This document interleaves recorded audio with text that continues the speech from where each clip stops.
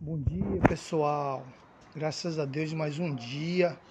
Que Deus abençoe sempre. Olha aí como está ficando o galo.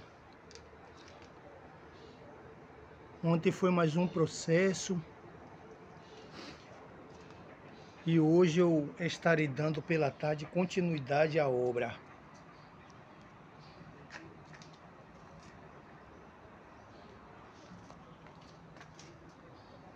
Assim está ficando a escultura do galo.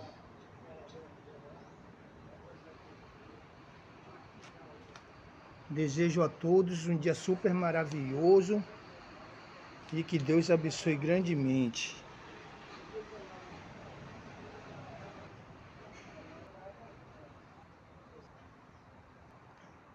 O bico ali por enquanto está só aquela base, mas ainda vou modelar o bico para ficar bonito.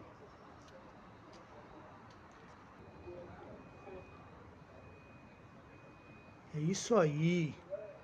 Um grande abraço.